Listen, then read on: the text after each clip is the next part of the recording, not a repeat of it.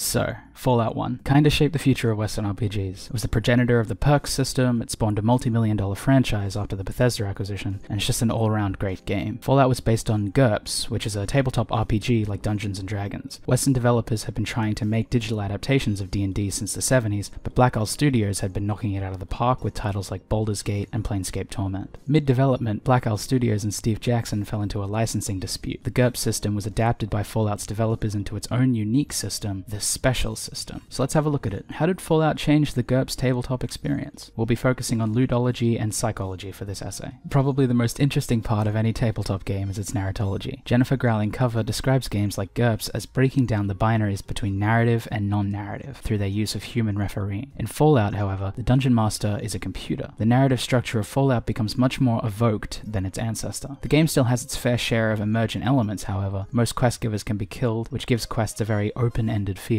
but there's still a finite amount of ends to explore. The final cutscene of Fallout was a landmark moment in computer gaming, but it exercises this point to a T. Each decision the player makes is presented back to them as a narrated slideshow. All the societies whose lives you've changed, the towns you stole water from, we get to hear what happened to them. The slides vary on player action, totaling about 193 unique endings to the game. It's outstanding, but it's not infinite. No matter what you do, the cutscene at the end where you blow up the church will still play. If Fallout were a tabletop campaign, the possibilities would be endless. Fallout's nature as a digital, finite state game reduces its capacity for emergent play, at least compared to tabletop. This makes the narrative more homogenous, but not necessarily worse. Alongside its narratological differences, Fallout also makes major changes to player structure. Playing tabletop is a party event tailored for multiple people. Fallout, on the other hand, is a solitary experience. Research states that player structure also includes adversary structure. For this comparison, adversary structure is something we're going to ignore. Neither GURPS nor Fallout have any explicitly human controlled adversaries, unless you count the Dungeon Master. Playing Fallout alone feels so much more different than sitting down at a tabletop session with friends. Fallout's talking head dialogues are one on one conversations between the player and an NPC. In a tabletop campaign, most NPC dialogue involves one character splitting their attention across multiple players. The game's themes of loneliness resonate harder when there's no one there for the player to digest it with. Decisions feel more personal in a single player experience as well. In Fallout, player decisions don't have to be voted on. The sole player of Fallout gets to experience the agency of an entire party. Fallout has a built-in companion system which can give the player the mechanical advantage of working in a team. However, companions are driven by AI, which makes it impossible to strategize with them adequately. Removing the multiplayer element from the GURPS system also removes potential for emergent narrative. So we've talked about narratology and the potential ways Fallout story can change. However, we haven't covered the ways the game delivers its narrative. In GURPS, exposition is performed by the GM and entirely spoken. In Fallout, we rely on written narrative.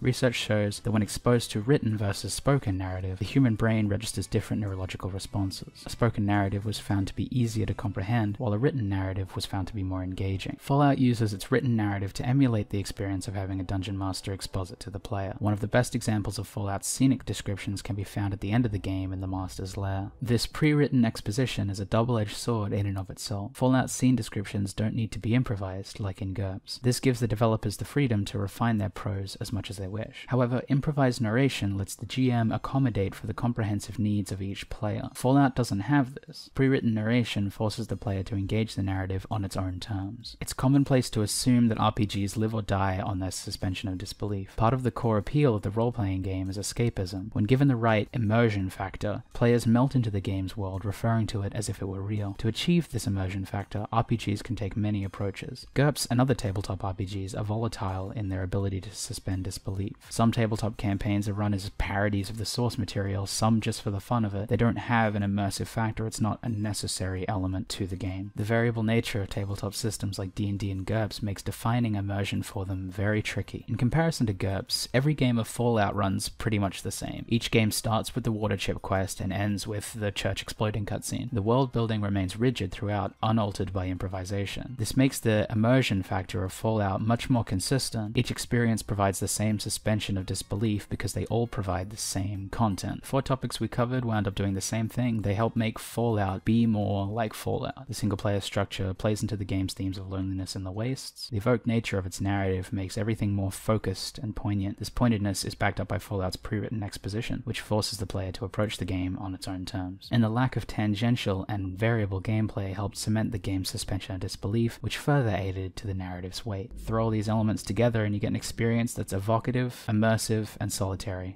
Just how I like my RPGs.